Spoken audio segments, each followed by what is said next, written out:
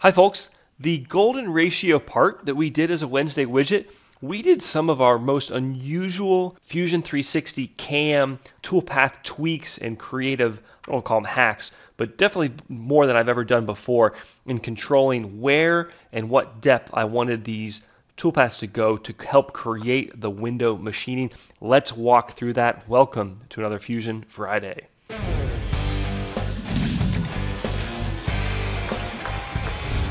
The cam for the part otherwise was relatively straightforward. We did a 3D adaptive and then a rough scallop and a finished scallop. I didn't get into a lot of the detail behind uh, really the window machining aspect of it, which is I want to trim down the area around this subject to leaving a little bit of material. So I've got to be very conscious of my heights and I need to control where this tool path or this 2D contour starts and stops. And that's not is easy to do in Fusion 360 because you can't really pick a partial contour. So let's go ahead and recreate this. Hop back into Model or CAD, Sketch, Create Sketch, and I'm going to just I'm going to put it on this plane center right here, which happens to bisect the part right down the middle.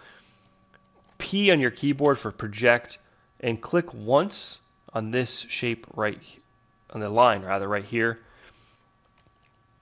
it puts a purple line around the outside periphery of the part. If I turn off the model body, you can see that's what we've got. I'm going to leave it off because it's actually a little bit easier to see what we're doing. Sketch, point. We're just going to do one for now. Let's say we wanted to do a new one here at sort of the angled uh, 2 o'clock position. So I'm going to put a point right there. L for line, I'm going to pick a uh, draw a line that's sort of like a chord uh, between two points along the projected toolpath. D for dimension, and I want this dimension to be 0.25. If I double click it, you can see that was dimension D56. So D for dimension. I want this one to also be D56. You could make, make them equal as well. That's actually incorrect. That was uh, the wrong dimension uh, location. See how that's kind of at an angle? I want it to be in line. Let's try that again. Uh, I'm sorry, no, that is correct. The other thing you can do, which is a little bit crazy, is after you click the two points, you can right click and change it to aligned, which is what I want. So right click, you can choose between aligned, vertical, horizontal. I don't like that workflow at all, um, but it does get it done. Oops, I want it aligned. D56, cool. So what that does is it creates this chord between these two points It's parametrically linked. The problem is that it's blue. So it's blue because right now I can still move this point. So what I'll do is click on that point once and I'll choose fix or unfix. That should turn it green. It's a little bit hard to see, but that point is now green. Now I believe this is a glitch because that line, I think, is fully constrained. I can't move it in any which way. And it makes sense because it's co coincident with the purple projected line and it's limited in its direction off of here.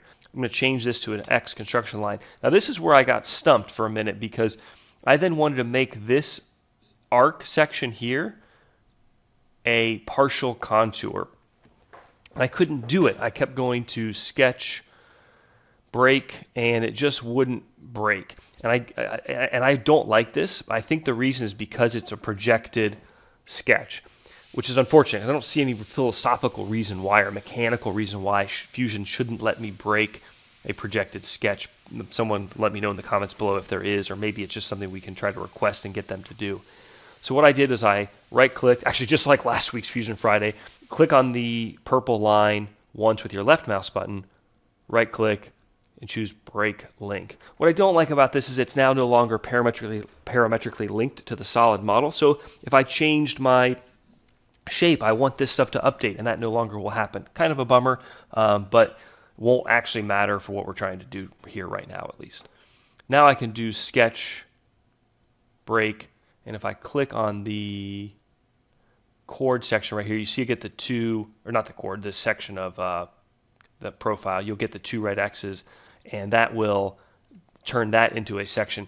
What I definitely don't want to happen is for this to move because right now if I accidentally bumped it a little, uh, you may not even see that or notice it and it, that would definitely violate your solid model and, and ruin your part. So I'm going to click on this and choose fix. So it turns it green and now that's locked into place. I could even toggle the body back on and kind of make sure it didn't look like it moved. And so that's it.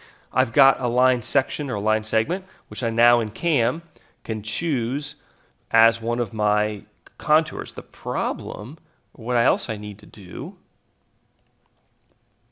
is I want to control, it's actually very important, the height of this toolpath. This is the tricky thing about this part is that it tapers uh, along the floor. So when we have a height setting like model bottom, that's going to pick the lowest point of the whole model, which is way down here. I need a point relative to kind of where I'm at. So what I did,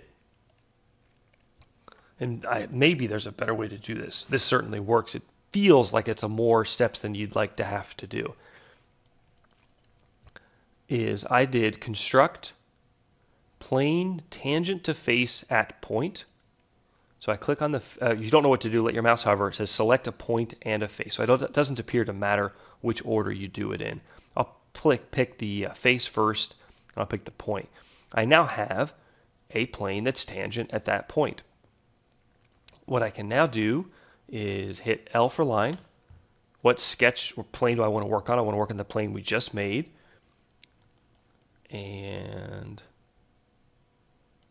where's my, oh yeah, it's right there. And then I can, what I can do so I wanted it to snap to, and it doesn't want to snap to because it doesn't see, even though it's on that plane, it doesn't, it hasn't automatically projected this bottom line. So this is going to be really weird. Take a look at what's about to happen. I have, where are you? This plane we just made right here. I'm going to hit P for project. I'm going to click the bottom of my golden ratio part, and you can actually see what it's going to do.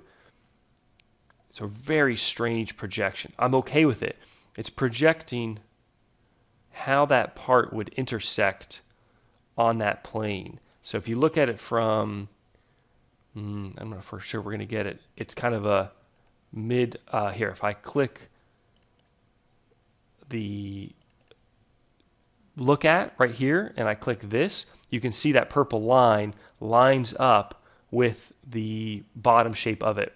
But when you start orienting it, looks quite strange. Regardless, what that lets me do is hit L for line. I can now pick that point and it'll snap to the point down there. I'm going to click it once, hit X to change it to construction line because all I really care about is that point. Stop sketch. Go back to cam. So what I did when I chose this toolpath, let's just duplicate this, start a new one to show you guys. Fusion Friday. So I would right click, edit, just a 2D contour. The chain is going to be this green section. Make sure your red arrow is on the correct side, meaning it's uh, putting the toolpath on the outside of the part. Ooh, I get an error. Oh, because of the, maybe because of the point?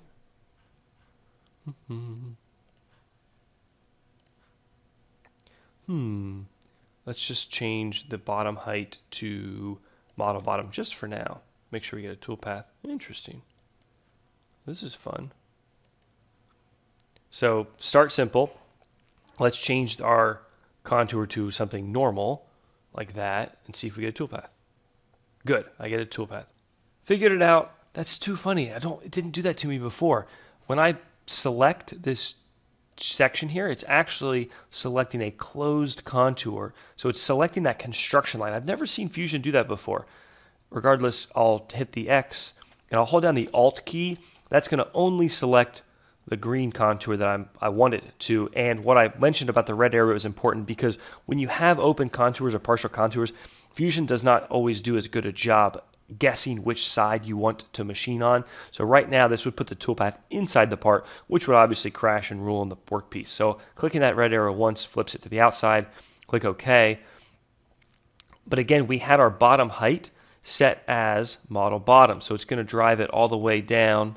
Uh, I don't think it went all the way down because I have it set to two, uh, 20 thou above the model bottom. If we change that to zero, you can see it would go right to the bottom. So what height do I want it at? Right click, edit, and under heights, have the bottom height be, be from selection. And what I can now do is pick that point. And if I look, uh, I want to change it back to a 20 thou positive offset. So that's going to keep the lowest point of the toolpath 20 thou above that area of the point. So it'll taper a little bit. Uh, you know, I'll have a little bit more th- a thicker tab here than over here, but nevertheless, that should get me what I want, which is a controlled 2D toolpath. I just wish it was parametrically linked. I wish I could keep that projection. Someone let me know if that's possible. That would be, that would be the bee's knees. Uh, and we should be able to do that, darn it. Nevertheless, I thought this was pretty cool. Window machining is really an awesome technique, something I want to do more of because it's such a good way to have confidence in your work holding, your part orientation, and getting good tool paths to make good parts. Hope you enjoyed, folks. Take care. See you next Friday.